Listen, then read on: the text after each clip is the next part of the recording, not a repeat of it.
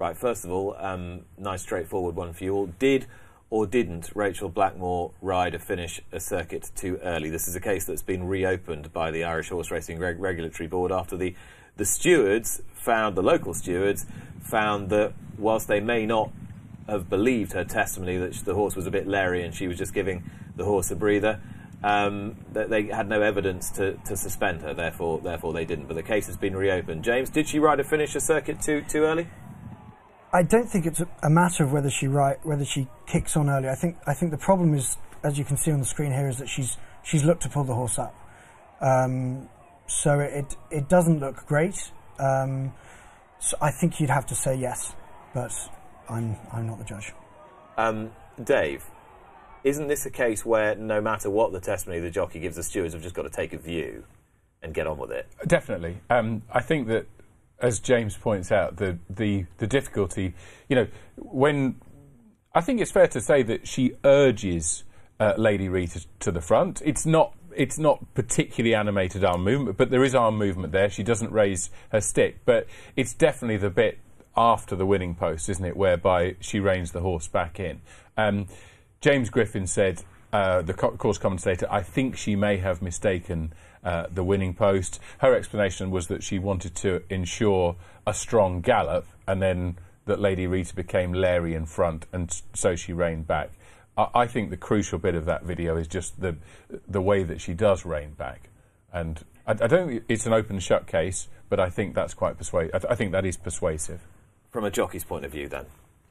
I think you said earlier that um, they didn't have substantial evidence, and um, it's it's a a, re- a hard one to comment on, but um, she's never actually pushed the horse, like full out pushed the horse, and she's never picked her stick up either. And um, I can see everyone's arguments, but it's a it's a hard one to comment on. Balance of probability, though.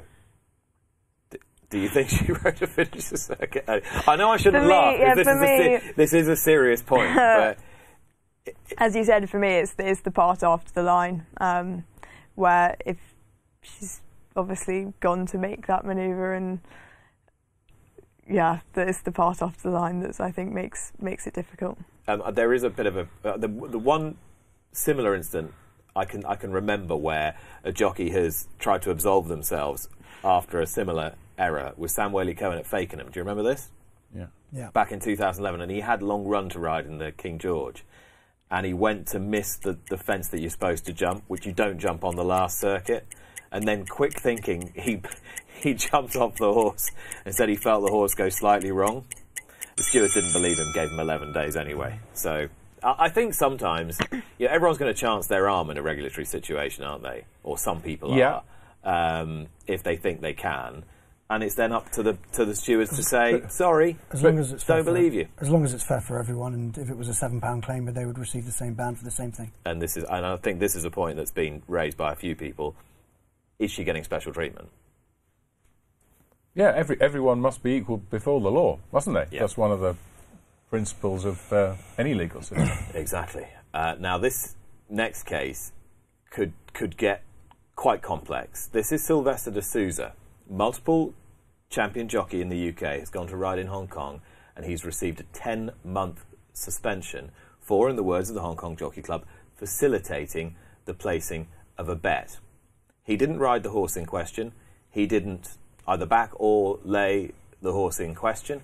And there's no suggestion that he in said race didn't ride on his merits, nor is there a suggestion that the jockey aboard the horse who was backed, uh, Wagner Borges, fellow Brazilian rider, um, didn't ride in any other way according to the rules. But uh, both have pleaded guilty, Borges to placing a bet and de Sousa for facilitating the placing of a bet, whatever that means. I'm not quite sure. But Right. Borges got 12 months, de Sousa's got 10 months, which at the moment will be reciprocated worldwide. He has indicated that he will appeal. Yeah. You said it's about to get complex. Well, the press release from the Hong Kong Jockey Club on Friday morning was not complex. No, it was cut and dry. It presented it as a cut and dried case. Now, this is uh, this is, I suspect, going to get more nuanced. I, I've I've, had a, a chat with a couple of people in Hong Kong, and the I think there are there are two elements of the appeal that obviously that um, Harry Stewart Moore Silvestre de Sousa's solicitor said, I can confirm there will be appeal, but we won't go into details, quite rightly. But I, I think that um, one will be the severity of the ban in, in terms of uh, Wagner Borges has, has been done for 12 months for placing a bet, and this so called facilitation has resulted in a, a 10 month ban. Um, I think that. We don't know what the facilitation Well- is. Is it simply a question of being present when Wagner Borges has sought to place the bet? Is it a question of being in the same room, of having knowledge of it? uh, my my information is that um, it is a, a failure to report knowledge of another jockey having a bet. So it wasn't as if he said, "Oh, you know, I'll, I'll, I can help you out with that," but merely the, the allegation was that he was aware of it and admitted to being aware of it, but not reporting it. Mm. So that, as I say, it was it was presented in very much black and white terms on Friday, but. Th- from from what I hear, it's a lot more nuanced than that. Here's an interesting one though for the BHA, James. If if there's a petition for the BHA not to reciprocate, that's that's going to put them in a I, I don't think it's a question. I think they racing all has to keep together. I, unfortunately for Silvestre, I think he's an absolutely superb human being and a fantastic jockey. I think there would be too much backlash if they didn't. I think they'd have to reciprocate the ban. And particularly at the moment, given given Hong Kong's extremely powerful position in, in global racing, you could be talking about a significant diplomatic incident if it was Absolutely a ban that was right. not You know, reciprocated. We, we've we've hitched our wagon to the star of world pool betting, and, and there is a clearly a, an, a- an unmistakable financial Well, opportunity the 130 Derby will tell you that. in that. Yeah, and I, I, I can't see any way in which that it'd be the for a an organisation that is not known for making bold calls. I think that's fair to say. I think that this would be a um, an incredibly uh, bold one to make. Just one final point with this, and that is that we often sort of observe and, and lament in Britain that the the wheels of justice in British racing um, grind with glacial speed. This race was on the 26th of April. What are we on now? The 14th, 15th, of, 15th of May, isn't Yeah. it today? So that's you might think, They well, have they not have they not gone about that with with uh, im- improper haste? I don't know. It certainly doesn't seem a, a great length of Well, time. you can't have it? both ways. No, You well, I'm, I'm just be- I'm not trying to have it both ways. I'm just I'm just making the point that you know it's it's what is that um, a couple of weeks, yeah. 19 days? Yeah. Well, yeah, 17 days Yeah. until Friday. Point taken.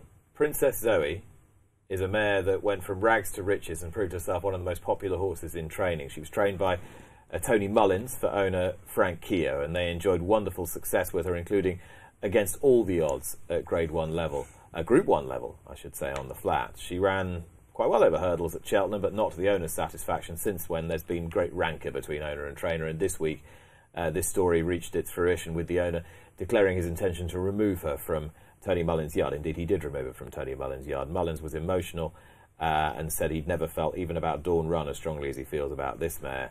And uh, it, it got an extraordinary response. Saffie, we, we hear about horses being removed from trainers all the time, but this one seems to have really um, stirred the emotions of many in the sport.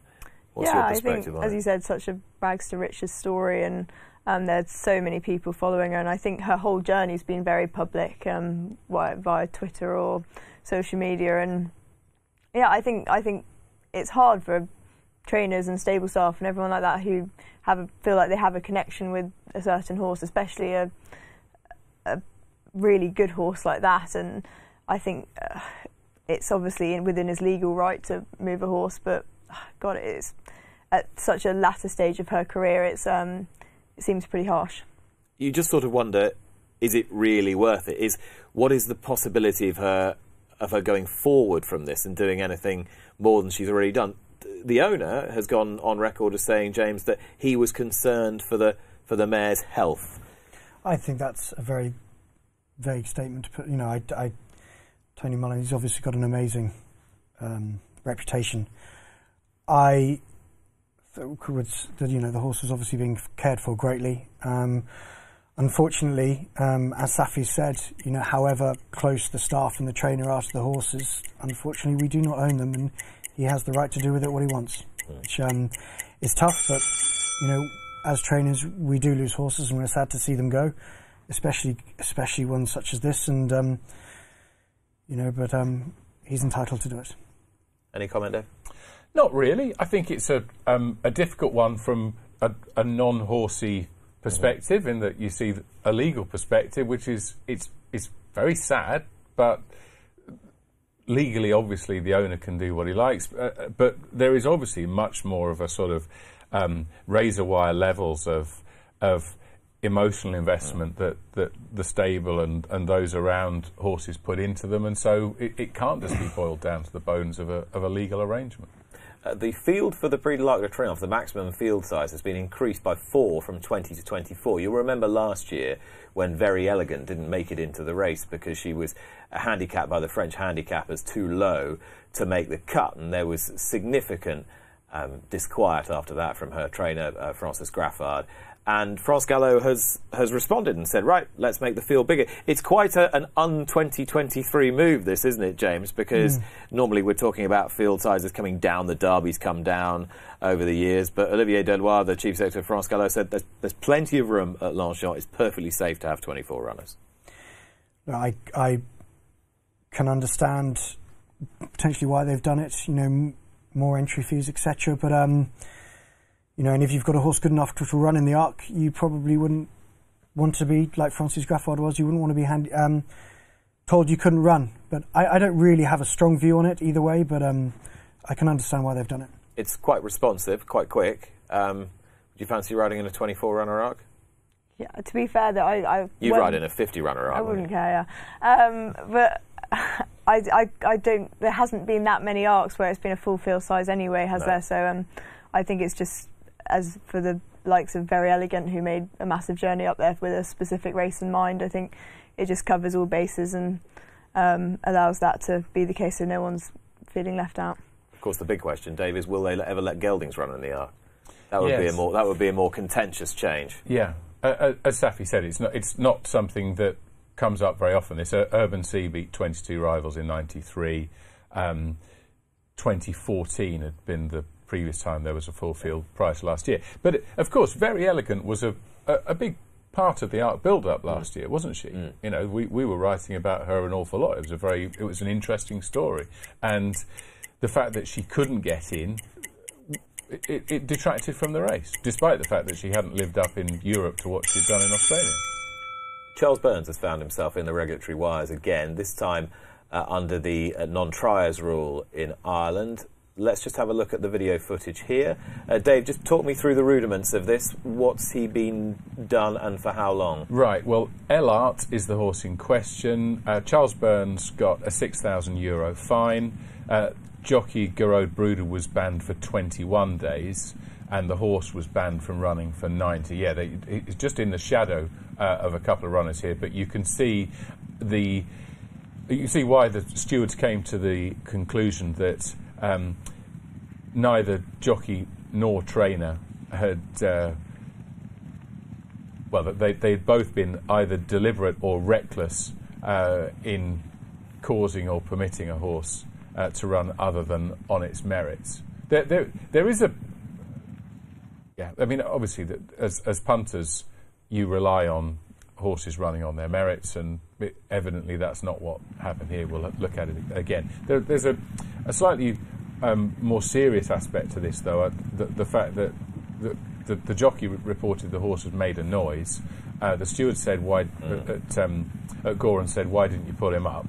Um, the Oh, they, they, asked Charles Byrnes, who said he wasn't satisfied with the ride, but he was satisfied with the decision not to pull the horse up, um, and said that he was only a lowly rated animal, yeah. which is like, well, we might as well have just pushed him to the line, and not that that's really what uh, Gearoid Brouder did there, but um, the, the, implication being that this is a horse with a, a lower rating, and so therefore deserves uh, lower standards of care. of care than a, a horse rated. You know, we, we've uh, been through we've been through weeks of this from April the fifteenth with Animal Rising. We're constantly bombarded with accusations that we use horses as as commodities, and in addition to the charge of, of running on merits, the idea that, well, he's only a lowly rated horse, so it, it, the horse had made a, a- a noise that when he ran the time before as well, I believe. So, Isn't there an, another important point here, Saffie, which is that there seems to have been this understanding down the years in Britain and Ireland and possibly elsewhere, I don't know, but certainly in these two countries, that if um, if trainer and jockey get called in for a running and riding inquiry, it's kind of there's carte blanche for the trainer to throw the jockey under the bus and say I wasn't happy with the ride. The jockey takes his medicine. Their relationship continues harmoniously, and this is what's happened here. But the stewards have actually rejected Charles Byrnes's attempt to to just let Gearoid Brouder hang for the for the ride. I mean, from a jockey's point of view, you know they they can't, especially younger jockeys, they can't be taking the the full responsibility and the hit for this all the time, can they? The trainer's got to share some responsibility. Yeah, no, I think I think they've made the right decision. Um, I'm very lucky. I've never ever, and I hopefully will never ever will will never be in that situation. And um, yeah, I, it's slightly cliche, isn't it? Just chuck them under the bus, and it's it was it did sort of make me giggle when you saw the Racing Post report with the brackets underneath for the stewards' inquiry, and it seemed to go on for about two pages, but. Um, It's actually rather more straightforward than the two pages. yeah, Yeah. yeah. And that is why the system is in place to deal with That- situations like that. that's something that I think a bit of progress has been made over the centuries, isn't it? Is that, that, that it was very much the case when I came into racing professionally in the early 90s, you know, that they put a white fiver in the, in the jockey's pocket and said, you're going to have to take the rap for this. And, and now at least we're a bit more realistic and a bit more adult and a, um, a bit fairer in the way that we look at these things. Absolutely, and I think you know the the jockeys have got to be somewhat somewhat protected in in that regard as as well. Let's talk about Chester. Um, this week, their chief executive Louise Stewart, both in print and then on television on ITV, um, fired a few warning shots across the bows of the industry which seeks to restructure racing, particularly on Saturdays to declutter weekends. Chester would be, you could argue, a sufferer under the current plans because they don't have the Premier fixture on a Saturday normally, and they'd be asked to start later, start earlier, move fixtures or whatever, just for the greater good. But clearly, a big part of their footfall business model is on getting people to the course on a Saturday. James, uh, you'd be quite well across this premierisation drive. Should the courses take a bit of pain for each other or not? Absolutely. I don't think racing is going to survive unless the race courses pull together and work together. Um, you know, the experts and the powers that be have decided that this is the right way to go forward, and um, you can't make an omelette without breaking some eggs. And whatever decision is going to be made is not going to be not not you can't make everyone happy. But um, you know, it's coming to a time where race courses do have to pull together and, and work and make racing better. Of course, if your whole plan is based on Saturdays and lots of people going, and you want them to go in the afternoon, it's going to be tough for a racecourse like that, isn't it? Yeah, and do you know what? Every Saturday race meeting you go, there's always a crowd, and especially at Chester, it's always absolutely rammed. Um, and that has to be obviously a part of their model of getting people through the gates. And um, I think as jockeys and as trainers, I think I think we accept that that weekends are always going to be busy because it's race courses want to entertain people and get people through the gates, and that's obviously their their weekend. Having said that, Dave, if racecourses are determined to get the limelight on a Saturday, both from a television point of view and a timings point of view, they have got the power to do that by putting on really good and valuable races. Absolutely. After the OFT ruling of 2003-4, the BHA doesn't have complete control of the fixture list. Um, yeah, it was interesting that Louise Stewart mentioned that uh, she invoked um, horse welfare among the potential ramifications of lost revenue. That that um, the the guest experience, the facilities, and equine welfare could suffer. I think at the moment, what racecourses What are does she doing mean by equine welfare could suffer? I don't get that. that if the income, if the course's income is hit by fewer people coming through the gates um, as a result of having to move the fixture, then that is one of the things that would suffer. It, uh, what? How? Well, the the money that they can, the, the money that the track would spend on that, presumably. Okay. But um, all tracks at the moment, aren't they, are saying you know, and what the underlining point with Louise Stewart said, we need to understand the market a little better than we do at the moment, and we need more robust consumer data.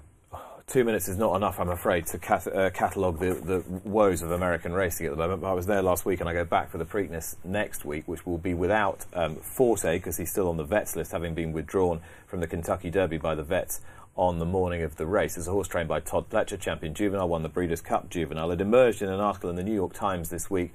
Uh, Joe Drape wrote that article, and he was uh, passed information by an insider uh, in New York that Forte uh, had failed uh, a test, failed a, a, test, or tested positive uh, for a substance in New York after he won the Hopeful Stakes uh, last year. This information didn't emerge until this week, and that race was run in September. He's trained by Todd Pletcher, owned by Mike Repole, um, both of whom have been quite vocal this week in a war of words with the authorities um, as regards who it was that delayed this information coming into the public domain.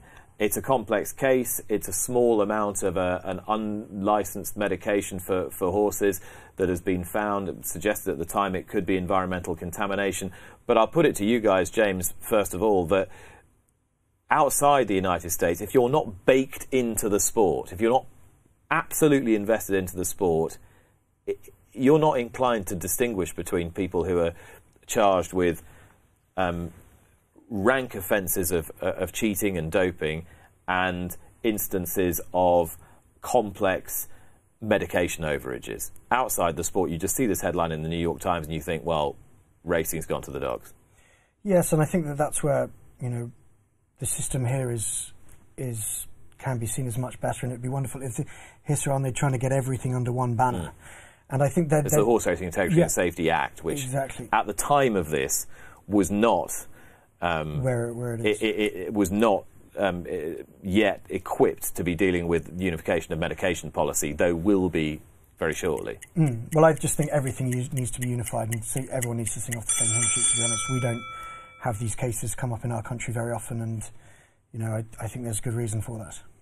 Um, but Dave, this is the interesting point here. You know, we do have quite regularly instances of you know, medication overages, people mis- mistaking withdrawal times, environmental contamination, and um, they get dealt with by the BHA. Sometimes people's satisfaction, sometimes not. But when this happens now in the United States, against the backdrop of Servis and Navarro and everything that they've had to deal with, the Kentucky Derby disqualification of Medina Spirit, it all just gets lumped into the same pot, and everybody says, well, the whole game stinks. It does, and it, it, you you use the word the expression baked in uh, with regard to how the public perceive those trans, transgressions, but also anyone who isn't baked into American racing. This is it. This is the only race that they watch, isn't it? Exactly. It's, it's the t- the great. Is it the greatest two minutes of in sport? Of, yeah. In sport, you know. So, and and, and also, uh, I was going to say tabloids. I work for a tabloid, the, but the, the press in general uh, will use a phrase, you know, it, they will not seek the, the, the, nuance in a transgression because a headline, if it says drugs cheat wins race X, well, that sells more papers or gets more hits or whatever it might be than than if you do look into the nuance and say, well, this isn't quite as it seems, you know. And that becomes um, pretty problematic. Uh, more of that, no doubt, next week and beyond. But those, for the moment, were this week's talking points.